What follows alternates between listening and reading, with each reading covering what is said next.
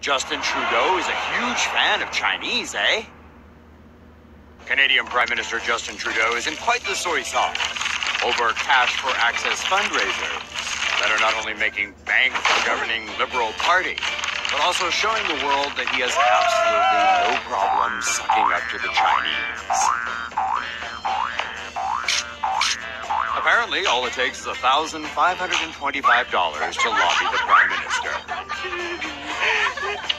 On May 19th, Trudeau attended a fundraiser at the Toronto home of business exec Benson Wong. Insurance tycoon Sheng Shenglin Xian, who's waiting federal approval for a new bank, was also there. Chinese billionaire Zhang Bin, with a partner, donated $1 million to the Pierre Elliott Trudeau Foundation and the University of Montreal Faculty Law, coincidentally just weeks after the event. Trudeau bent over again when he attended a similar Chinese fundraiser in Vancouver on November 7th.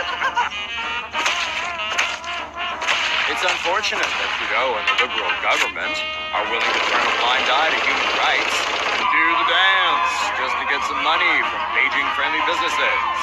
Maybe Canada needs to change its anthem. Oh, China, anyone?